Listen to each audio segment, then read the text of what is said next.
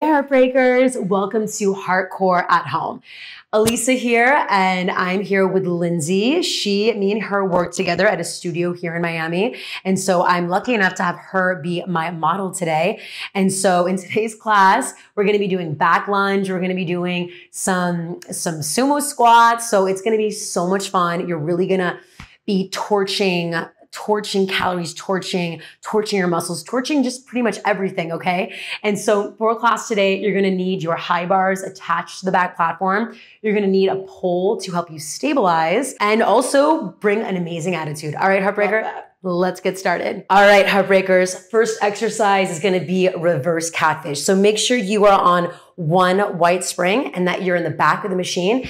And here, Lindsay has her hands on the high bars, toes under the strap of the carriage, back is in tabletop. Make sure your knees are bent, heartbreaker.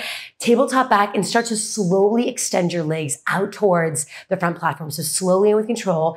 Beautiful. Big inhale through your nose. Extend your legs out and exhale. Squeeze your pelvic floor muscles. Pull your belly button up to the spine. Yes. And once your knees are under your hips, stop and then send the carriage right back out. So Heartbreaker, you want to make sure that your palms are actively pressing away from the high bars so that you can activate your lats, you can activate your triceps, your rotator cuffs. And a big thing here you want to think about as well is not dropping your hips. So when your hips drop, there's nothing wrong with that. You just get less core engagement. So make sure that you have a tabletop back like the insanely strong Lindsay right here, okay? And knees are bent the whole time. A lot of times when I teach this move, I see uh, students will straighten the, their legs and you don't want to straighten your legs, all right? You're going to lose the engagement in your lower abs. So bend the knees, Keep your feet, your heels high. Okay, so let's keep it going here. We're warming up the core.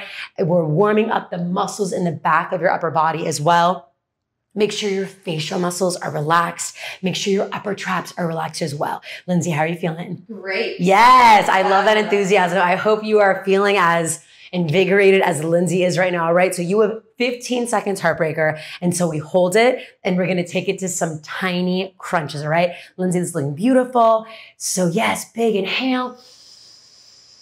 Exhale, squeeze your abs hard as you can, all right? We're gonna have the knees under the hips in three, two, one. Heartbreaker, hold the knees under the hips, hold it right here, and tiny crunches. So two inches out, two inches in, two inches out, two inches in. Yes, Lindsay, there we go. Inhale out, exhale in. Upper body super stable. Really finding that burn in your lower abs, warming up the core for the rest of this class, Heartbreaker. Let's do it.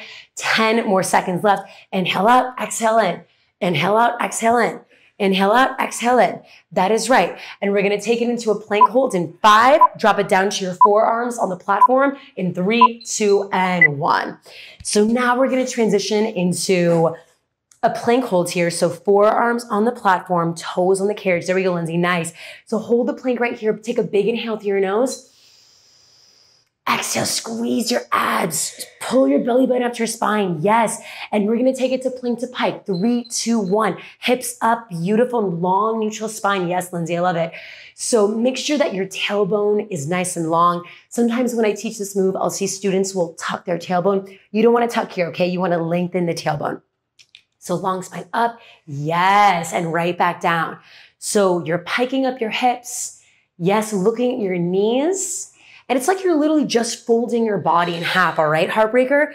We've got 30 seconds left to go here. Keep your feet flexed. You're also getting a nice stretch in your hamstrings here. Yes, and to modify, you can always drop down to your knees and do the same exact movement on your knees. Just make sure when you go on your knees, you're not going to move fast, okay? You're still honoring that slow four count to access your slow twitch muscle fibers. All right, we got 10 seconds, Lindsay. Heartbreaker, 10 more seconds. We got nine, eight, seven. Keep breathing. Six, five, four, three, two, one, and take a break for a second. All right, Heartbreaker. So next up is gonna be our Cobra. So bring your hands at the edge of the squishy part of your back platform, knees on the carriage. I want you to be in a kneeling push-up position. And all we're gonna do now is start to hinge from your shoulders, start to slowly drop your elbows towards your back platform. And when you're an inch above the back platform, that's when you use the power of your hips, your lower abs, and your glutes to bring you right back up onto your palms, right? A big thing here you wanna think about as well is not sticking out your elbows. This is so easy. Everyone does it because why? It's easier, yeah? So you wanna pull your elbows in to make sure your lats are staying activated in this entire exercise. So don't forget, Cobra is as much an upper body exercise as it is a core exercise. Yes, Lindsay, beautiful. So sit, bring it down, bring it down. Yes, touching my palm right here. Good. And and coming right back up. Yes. And make sure, heartbreaker, that you're not dumping in your ribs, right? You want to pull your ribs up to your kidneys to get that full activation in your core. Yes, inhale down and exhale. I want you to really squeeze your belly button into your spine and squeeze your pelvic floor muscles as you rise to the top. So you're inhaling Give your body the oxygen it needs and exhale, squeezing your abs in. Heartbreaker in a couple seconds. We're to take it into our bear. So we got that bear coming up in five hands at the side of your platform in four bear, three, two, and one. So Lindsay's now putting hands at the side of the platform. Her back's going to be in tabletop and she's extending her legs out. Yes. And make sure as well that your shoulders stay right on top of your wrist the entire time back is in tabletop. And listen, if this is too much, you can always modify. And the way you modify is you just drop your knees on the carriage and just the same thing with your knees dropped on the carriage and sending the carriage out and in, all right? So inhale, send it out. Exhale, squeezing your abs up to your spine, all right? Think about it. Gravity's trying to pull your abs down right now. I want you to pull your abs up. Yes, Lindsay, beautiful. 30 seconds left, heartbreaker. Okay? slowly resisting out. Lindsay, you're killing it. Heartbreaker again. If you need to take a break, it's all good, okay? Slowly out. So feeling the entire back of your body working, lats, triceps, rotator cuffs. We've got our final 10, nine, eight. Keep going, heartbreaker. You can do it. We got three, two, one, and let's take a break for a second. Before we get started in the first lunge of the day, I want you to get into a plank hold to really finish off the core warm up for today's class. So bring your forearms or your palms on the platform and get into a plank hold modification. You're on the knees, or if you want, you can be on the toes. It is up to you. So 30 seconds on the clock here. You're pressing your forearms away, and I really want you to breathe. Big inhale through your nose ribs expanding, big, powerful exhale out through your mouth, squeezing your abs in. So listen, anytime you exhale, you got to squeeze your abs to get that maximum amount of core engagement. So the way your abs also feel right now, Heartbreaker, I want you to feel the same exact way when we get in back lunge in about 10 seconds. All right. So let's have one more good big inhale through your nose. Big exhale, squeeze your pelvic floor muscles, squeeze belly button and spine, and we got that back lunge in three, left side, two, and one. So heartbreakers, stand up. I want you to bring your left foot in front of the back platform, and then bring your right toe in the carriage strap. And then you can use a wall or a pole.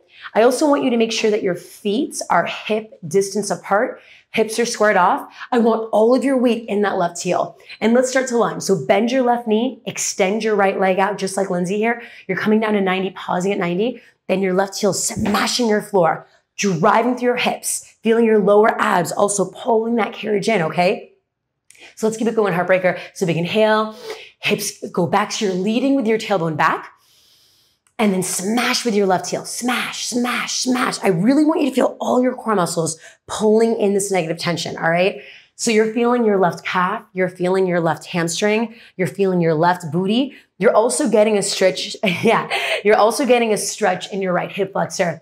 Make sure as well that your shoulder blades are squeezing together, right? It's so easy in this move to kind of want to hunch forward because it's easier, right? But I really want you to be diligent about Bring your shoulders, shoulder blades together, okay? And look straight ahead as well. So sit it back, beautiful Lindsay. So I'm holding Lindsay's hips.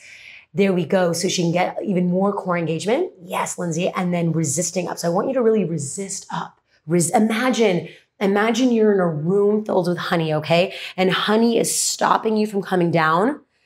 And then honey is stopping you from coming right back up, okay? So you wanna really resist up and you want to resist right back down. That is what's going to really help you tear up your muscle fibers, okay? And your glutes and your hamstrings, okay? So inhale back. Exhale, squeeze. So every time you come up, I want you to exhale and squeeze your abs in. You have under 30 seconds left, heartbreaker, okay? Sit it back, sit it back and smash. So whatever's upset you this week, or, or, I want you to pretend it's underneath your left heel and you're smashing it, smashing it to oblivion, all right, using the power of your own body. We have just 10 seconds left here until we take it into our highest angle holds, the standing long jump hold. That's in five. You're gonna meet me at your highest angle in three,